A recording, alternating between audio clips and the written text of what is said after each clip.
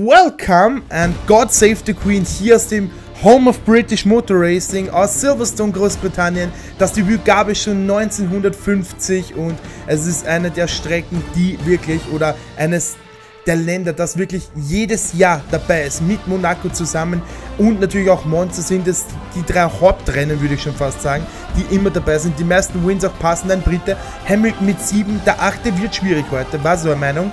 Äh, 5891 Meter, äh, ja, hat eine Runde, 18 Kurven, jede davon spektakulärer als die andere.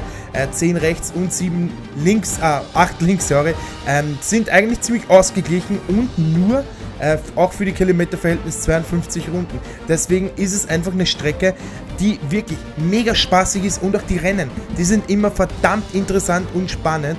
Aber ja, wir werden natürlich jetzt einen kleinen Blick darauf werfen, wie die komplette Strecke sich, ja, wie man hier rumfährt. Hier haben wir nochmal die Strecke 5,8 Kilometer, 18 Kurven, aber vor allem zwei DS-Zonen, die es wirklich einfach, mach, einfach hermachen zu überholen. Also einmal nach der ersten kompletten Kurvenkombination, ähm, nach Kurve 5 aber das gucken wir uns jetzt gleich auf der Strecke an. Ihr durftet auch raussuchen, mit dem Williams werden wir fahren. Es ist auch ein Traditionsrennstall.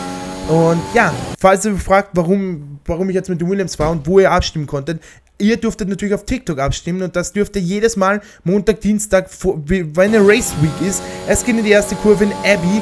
Die ist echt, die hat es auch schon in sich, eine Rechtskurve.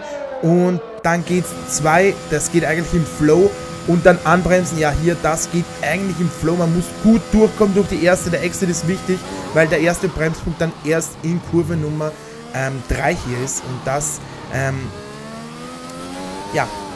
Und hier dann die Vierer, die jetzt auch in sich, da ist echt, muss man echt innen bleiben bei der Kurve.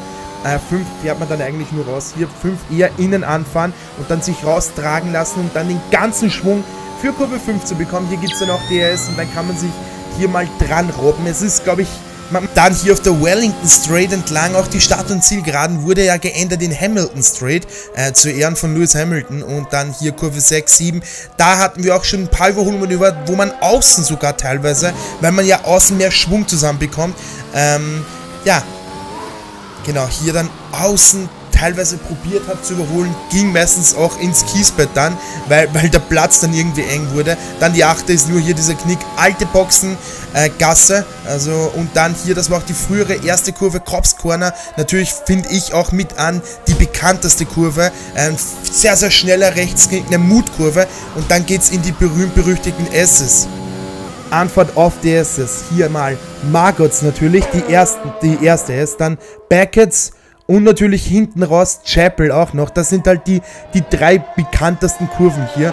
Hier dann aus Chapel raus die 10er, die 11er. Die muss halt in den Flow gehen, die 12er, die 13er. Und zu guter Letzt dann raustragen lassen auf die 14er. Aber da waren wir noch zu früh dran, weil da kommt ähm, noch ein...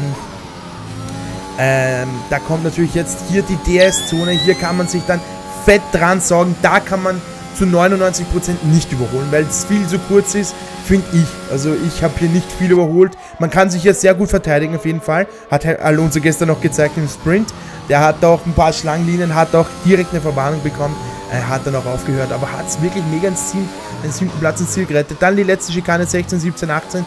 Äh, da ist wirklich auch in der, der Exit von der, 16, äh, von der 17 wichtig, äh, weil es halt dann auch eine, auf eine Geraden geht und da musst du echt auch gut rauskommen. Hier, der, der perfekte Punkt liegt doch hier genau am Körb, dass du halt hier den geradesten Weg und nicht so schräg durchfahren musst, halt mehr Kurvengeschwindigkeit zusammenbringst und manche übertreiben es halt und fahren dann auch über den Sausage Cup, ruinierst du dir den Unterboden und so weiter. Und das war hier eine Strecke in Silverstone, eine Runde in Silverstone. Und gucken wir mal ein bisschen auf das gestrige Sprint Race. Und es war auf jeden Fall sehr, sehr spannend. Nur Hamilton hat den Start verkackt, direkt gegen Verstappen verloren. Äh, Bottas dahinter ein einsames Rennen gefahren, auch Leclerc einsam. Alonso mit einem sensationellen Start von 11, direkt auf 5 vorgeschossen, hat dann aber die McLaren ziehen lassen müssen. Äh, aber hat sich gut gegen Vettel und auch gegen Ocon durchgesetzt, einen Ferrari hinter sich gelassen, einen Alpha Tauri, ähm, auch, auch Russell, ein bisschen enttäuschend, der ist dann mit Sainz ein bisschen aneinander geraten. Beide haben es abgestritten, dass sie schuld waren. Es gibt aber die drei Plätze Strafe für Russell. Das ist natürlich blöd. Ähm, Sainz dadurch ein bisschen behindert. Perez natürlich ein bisschen schlecht. Der ist aus ähm, äh, in, in Chapel rein und den hat es weggedreht und konnte dann nichts mehr machen. Ist in die Box gefahren, frischen Satz Reifen und war dann natürlich das Rennen verloren. Ein ähm, paar äh, gute Fahrer hat es gegeben und natürlich ein paar, die alles verloren haben. Ich meine, Russell auf 8 wäre der gestartet und jetzt jetzt auf 12. Äh, Verstappen gewinnt das erste Sprint Race in der Geschichte der Formel 1. Und wer denkt ihr gewinnt das heutige Rennen? Mein Tipp liegt auf jeden Fall auch auf ähm, auf Red Bull. Ich denke mal, Verstappen hat zwar keinen Kompagnon, äh, die Mercedes beide im Nacken, die können da die Strategie splitten, aber die Pace von Mercedes, äh, von Red Bull ist so stark. Ich denke mal, das Ganze gewinnt äh, Verstappen vor Hamilton und ähm, Norris. Ich sage mal Norris, dann haben wir zwei Engländer auf dem Podium. Ähm, wie, wie würdet ihr das Ganze sagen? Schreibt es gerne in die Kommentare. Abonniert den Channel gern kostenlos. Lasst doch gerne ein Däumchen oben da. Und schaut auch unbedingt gerne auf, ähm, auf unseren Instagram- und TikTok-Account vorbei. Links sind wie immer alle unten in der Bio vielen, vielen Dank fürs Zugucken. Äh, auch alle Szenen und so weiter. Schauen wir uns morgen in einem Recap vom heutigen Rennen an. Also kommt gern vorbei. Auch TikTok werden wir ein bisschen sprechen. Danke fürs Zugucken. Bis morgen und ciao.